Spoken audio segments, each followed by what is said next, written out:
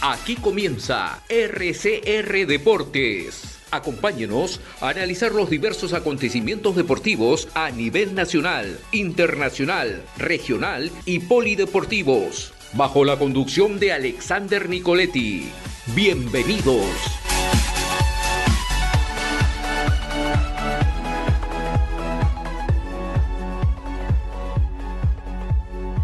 Bien, y ahora nos vamos a enlazar vía Zoom con María Fernanda Delgado Sánchez. Ella es deportista en la disciplina de ciclismo y también en la disciplina de natación, ¿no? Vamos a hablar con ella sobre estas dos disciplinas, cómo ha crecido también esta disciplina y en qué torneos ha podido participar María Fernanda. ¿Cómo estás María Fernanda? Es un gusto saludarte y bienvenida a RCR Deportes.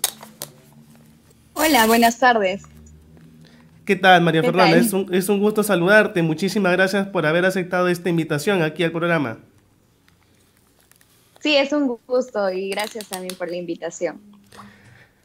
Gracias a ti, María Fernanda. María Fernanda, a ver, primero eh, comencemos hablando del ciclismo, ¿no? Porque si bien es cierto, eh, eh, haces ambas disciplinas, tanto el ciclismo como la, natación, pero en primer lugar quiero preguntarte cómo así te nace el gusto ¿no? por el ciclismo y eh, desde cuándo lo practicas.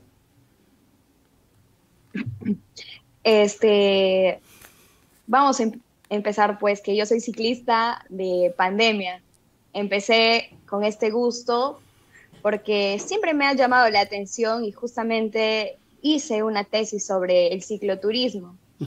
Y entonces quise aprovechar la pandemia, ya que los deportistas que utilizaban la bicicleta pues podían salir a hacer sus actividades.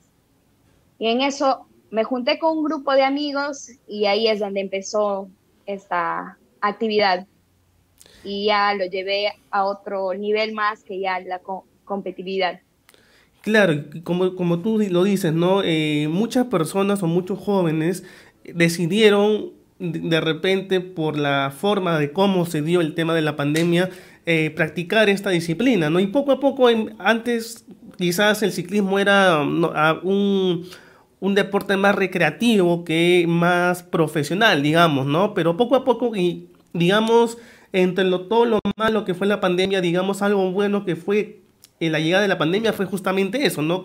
Que más chicos se dedicaron al ciclismo y poco a poco también el ciclismo ha ido creciendo a nivel nacional, ¿no? Ahora, eh, María Fernanda, ahora a nivel ya, eh, como tú lo dices, ¿no? Ya tienes, ya hay otro nivel, quizás un nivel más profesional. ¿En qué eh, competencias has podido estar, has podido participar? Al inicio después de estar como cuatro meses manejando bicicleta de forma deportiva con un grupo de amigos. Bueno, yo soy de Tarapoto, entonces aquí pertenecemos a la región de San Martín y siempre se hacían los eventos en, el Alto Mayo, que es en, en Rioja y en Moyobamba. Entonces ahí empezó yo a inscribirme a las competencias, a tener estas vivencias, había un muy buen nivel porque habían personas ahí que sí se dedicaban al ciclismo antes de la pandemia. Claro. Y luego ya empecé a ampliar más mis horizontes, también los amigos, hacer eh, conocer más personas, gracias a las redes sociales. Entonces, este, mi primera salida de Tarapoto fue ir a Lima a una competencia que se llama Totoritas, que lo hacen en Mala. Eso fue mi primera experiencia fuera de mi región. Luego tuve otra invitación para ir a La Libertad, que es de Palo Santo, otra competencia también. Y después volví de nuevo a competir el año pasado, en febrero, lo que fue Totoritas otra vez, pero ya en verano. Esos fueron mis, competencias. las competencias donde sí he ingresado. Y acá pues en la región que fueron como siete o diez. ¿Y qué tal la experiencia? ¿Qué tal la experiencia que has vivido en estas competencias? Si bien es cierto, eh, es un trabajo eh, arduo que tiene que tener un deportista que se dedique ¿no? al ciclismo, estar en constante práctica, en constante entrenamiento, para mejorar también algunas cosas eh, y sobre todo algunas técnicas para las futuras competencias que se avecinan. Exacto, es muy, muy importante saber también al inicio cuál es tu nivel, no siempre estamos como que manejando con nuestro grupo de ciclistas, realizando el deporte, pero ya queremos llevar ya a otro nivel, como les digo, y ver cómo estás contra las otras personas que, que digamos, en tu categoría como damas o como varones. ¿Cuál es tu categoría? ¿En qué debes de, en qué debes de mejorar? En cómo es que tú te desenvuelves en una competencia, porque es muy diferente a que tú salgas a entrenar solo con tus amigos, a que tú estés solo directo a un objetivo y querer realmente ganar, ¿no? Claro que sí. Ahora, eh, María Fernanda, ¿qué disciplina, o mejor dicho, qué modalidad es la que tú practicas del ciclismo? En el ciclismo lo que realizo es el ciclismo de montaña, MTB, ¿Y es complicado? ¿Los entrenamientos son complicados? ¿Son difíciles? Ah, es fácil. Yo lo siento fácil porque me gusta. Existe los retos como para escalar, bajar. Para mí uno de los principales retos ha sido más que todo descender, porque pues estás en la montaña, hay obstáculos como piedras, troncos, raíces, y entonces hay que tener un buen manejo. Bien, María Fernanda. Ahora, dejamos de lado un poco el ciclismo y nos vamos a la otra disciplina que también practicas, ¿no? La, la, cual es la, natación.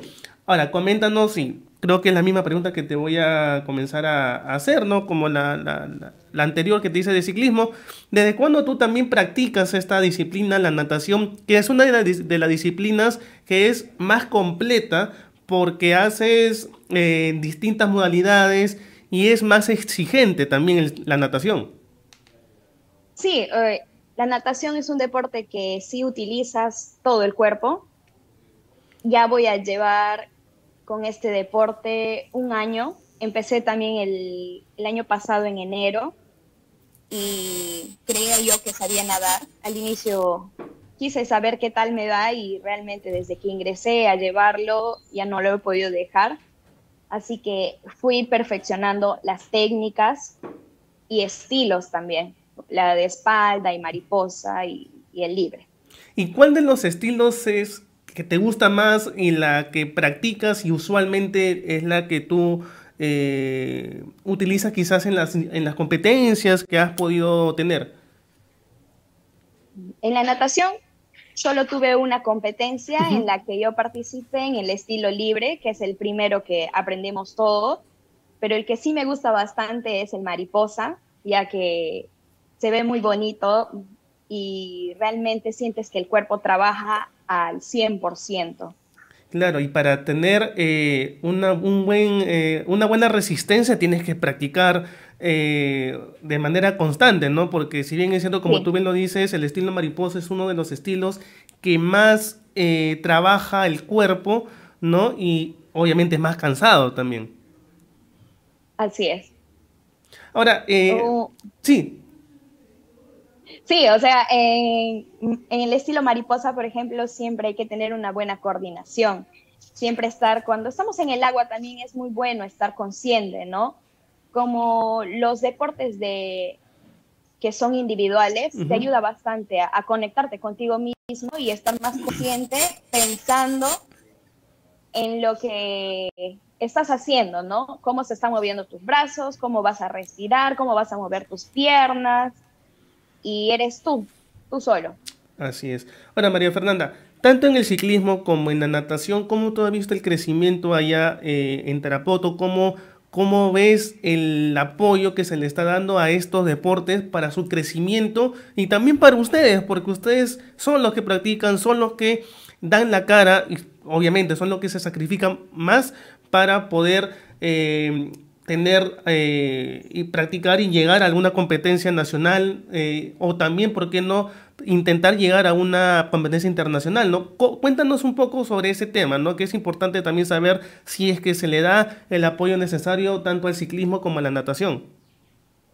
Ya, en lo que es el ciclismo, bueno, gracias también a la pandemia y a la gran demanda de este deporte, es que se fue, este, fue aumentando un poco a lo menos en Tarapoto, hacer este, este tipo de deporte y algunos eventos, ya que estos eventos normalmente se hacían fuera de Tarapoto, como las competencias, o si no, en la costa. Y entonces, eh, sí está, está en crecimiento, si se pudiera decir. Todavía no hay mucho apoyo. Lo mismo con la natación. Todavía, si se mueve, es gracias a las academias, gracias a los profesores que nos enseñan. Entonces, nos juntamos y hacemos las invitaciones a otras academias que están dentro de la región y también fuera de las regiones para poder este, realmente ser parte de un evento así. Pero si podemos llamar entre las autoridades, no, no todavía están dentro de, eso, ¿no? No es como si hablaríamos del fútbol o el vóley, ¿no? Que es un deporte más apoyado, si es que se pudiera decir así, por nuestras autoridades, ¿no? Pero después te das cuenta que hay otros deportes más donde son más interesantes y quizás a otras personas también les puede gustar, ¿no? Porque yo entiendo que hay personas que quizás no les gusta el vóley. Por ejemplo, a mí no me siento muy capaz de jugar vóley, pero me siento muy bien haciendo natación o manejando bicicleta. Y entonces sí encontré mi deporte.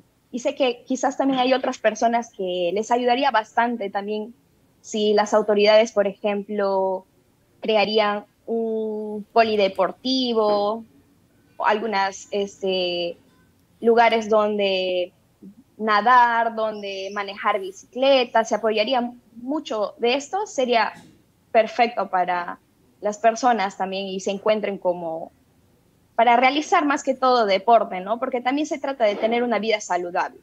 Claro que sí, eso es muy importante lo que tú lo que tú has comentado y sobre todo y ojalá como tú mismo dices que estas dos disciplinas tanto el ciclismo como la natación sigan en crecimiento, ¿no? Porque nosotros hemos tenido unos Juegos Panamericanos en el 2019 que se mostró la gran diversidad de eh, deportes que tiene el país, no solamente que es el fútbol o el, el que son dos eh, deportes que quizás eh, mueve masas, ¿no? Como sabemos, tanto el fútbol y el voleibol son los que mueven masas, pero también hay más de deportes que han podido ver la luz gracias a estos Juegos Panamericanos y sí, hoy ojalá que también las autoridades poco a poco volteen y vean que no solamente es importante el ciclismo como deporte, sino también va a traer, como tú lo dijiste hace unos momentos, el turismo también para la región. Exacto. Sí. Ahora, es muy importante. Claro que sí. Ahora, María Fernanda, coméntanos también eh, en qué consiste tu rutina diaria. Por ejemplo, de repente un día le dedicas a practicar eh, ciclismo, otro día natación, o quizás eh, hay días que practicas tanto ambas, ambas disciplinas deportivas. Coméntanos un poco cómo es tu, rutina. Mm, ya, en, la semana normalmente siempre utilizo el lunes para descansar. Utilizo el lunes para descansar y empezamos martes, haciendo desde temprano. Normalmente me despierto a las 5 de la mañana para salir a manejar a las 5 y media. Y entonces hay como dos horas hasta las 6, máximo 7 de la mañana manejar bicicleta y luego realizar mis actividades normales. Y luego está las clases de natación que llevo, que son de 9 de la noche hasta las 10 de la noche. Natación sí lo hago de tres veces a la semana y ciclismo lo hago de, tres, de cuatro a cinco días a la semana, donde los fines de semana es donde trato de hacer unas rutas más largas, más kilometrajes.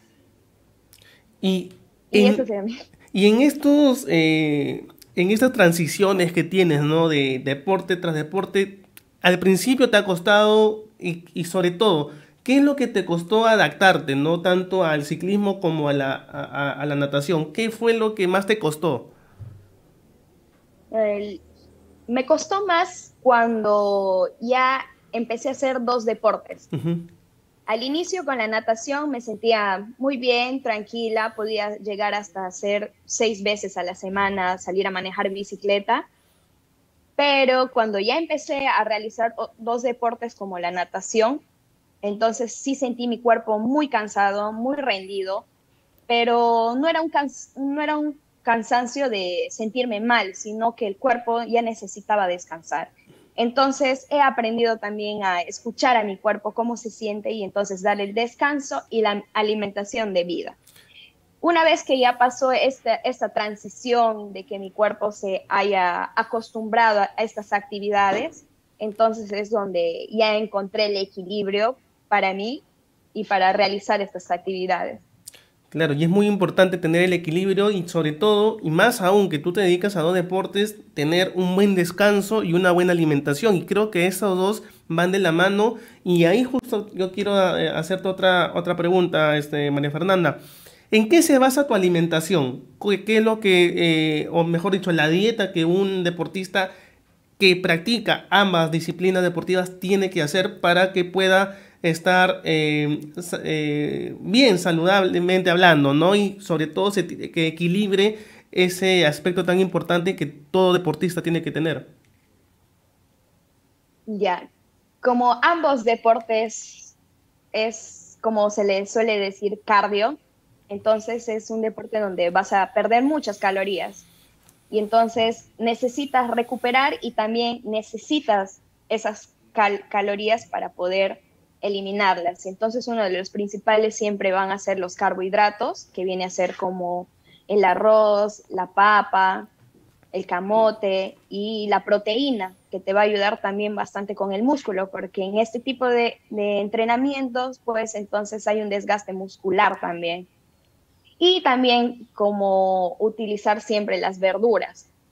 Trato sí, he tratado sí al inicio se ha hecho un poco difícil de dejar las comidas chatarras, ¿no? Las que tienen las grasas saturadas, todas las que son con aceites y frituras, porque está bien si nosotros quemamos muchas calorías, pero también no es muy bueno para nuestra salud. Y entonces nuestro cuerpo mismo también se va sintiendo como qué alimentos sí nos va a ayudar, qué alimentos ya lo vamos a desgastar en estos entrenamientos y qué alimentos necesitamos para estar tranquilo en nuestro cuerpo y darle la alimentación necesaria.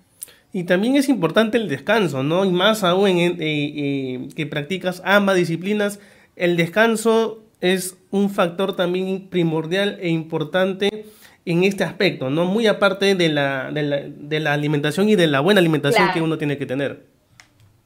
Exacto, el descanso es muy primordial, es, normalmente es hay que dormir tus ocho o siete horas porque el cuerpo lo necesita. Hay veces que también a la mitad de toda la mañana o tarde una pequeña siesta porque el cuerpo lo necesita. No está mal no dejar de descansar el cuerpo y solamente entrenar, entrenar, entrenar. Hay que descansar también el cuerpo y el cuerpo también te manda la señal de que si necesitas descansar, no hacer ninguna, ninguna actividad simplemente estar en reposo.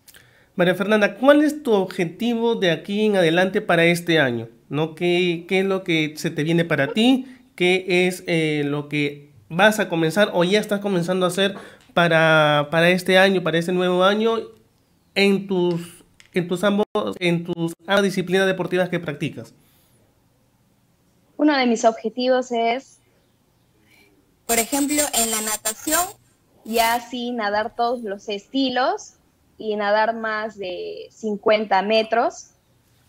Eso es mi objetivo, tener, me muero por realmente nadar más de 50 metros en cada estilo y si es posible hacerlo combinado. Ya estoy en ese camino, ya, ya sé que mi resistencia ha aumentado. En el ciclismo mi objetivo es mejorar mis, mis tiempos, mis marcas, porque ya, me, ya siento que mi cuerpo está acostumbrado, entonces lo que tengo que hacer es seguir con el entrenamiento y mejorar mis tiempos. Bien, María Fernanda, eh, no sé si tú quieras ahora mandar algún mensaje, decirle a, algo a las personas que te están escuchando y te están viendo en este momento, porque es muy interesante todo lo que nos has dicho, todo lo que nos has comentado y sobre todo tener en cuenta que para hacer ambas disciplinas deportivas tienes que tener eh, una mayor condición física y sobre todo mayor responsabilidad en tus comidas, en, en tus alimentos y sobre todo en el descanso que tienes que tener. Sí. Lo que pudiera empezar diciéndoles es que es bueno probar los deportes, ¿no? Normalmente siempre nos encasillan desde, desde que estamos en un colegio, el fútbol, el vóley o el básquet, pero también hay otros deportes más. Y a veces yo siempre me he puesto a pensar que, ¿por qué no lo he conocido antes? ¿Por qué mis padres o en la escuela, mis tíos no me han hecho conocer este deporte, ¿no? Porque realmente la sensación es muy diferente, es muy diferente a lo que yo hacía quizás en otro deporte cuando estaba en la escuela.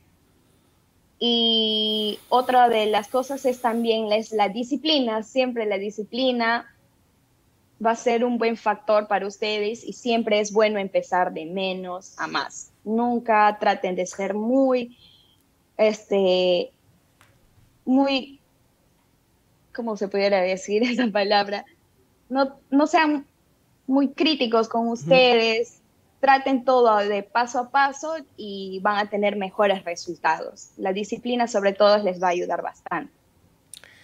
Bien, María Fernanda, ha sido un gusto tenerte en el, programa. Muchísimas gracias por haber aceptado esta entrevista y sobre todo que nos hayas hablado de dos importantes disciplinas, ¿no? Que poco a poco están en crecimiento. El ciclismo, sin duda alguna, está en crecimiento en todos lados, en todo el país, al igual que, el, al igual que la natación, ¿no? Pero claro, como bien lo hemos dicho, se necesita también que las autoridades volteen y miren también a estas disciplinas que poco a poco, como bien lo digo, está creciendo y em, está también logrando resultados importantes. Tenemos bastantes resultados importantes tanto en natación como en ciclismo y así es que hay que seguir para adelante y como bien lo digo, ¿no? el apoyo tiene que seguir para que también ustedes, quienes están practicando, entrenando y quizás sacrificando muchas cosas de por medio, tienen resultados importantes y eso también hay que valorarlo valorarlo bastante. María Fernanda, muchísimas gracias nuevamente por haber aceptado esta invitación. Espero que no sea la primera ni la última vez de poder tenerte aquí en el programa y seguramente vamos a estar contactados nuevamente para seguir hablando de estas dos disciplinas tan importantes. Muchas gracias por la invitación y siempre voy a estar para lo que ustedes deseen. Mientras se trate de deportes, yo voy a querer dar todo lo mejor de mí y mi experiencia. Listo, María Fernanda, un fuerte abrazo y muchísimas gracias. Bien amigos, así es María Fernanda Delgado Sánchez, deportista en la disciplina de ciclismo y en la disciplina de natación. Esto fue RCR Deportes. Retornamos mañana con más información del mundo deportivo.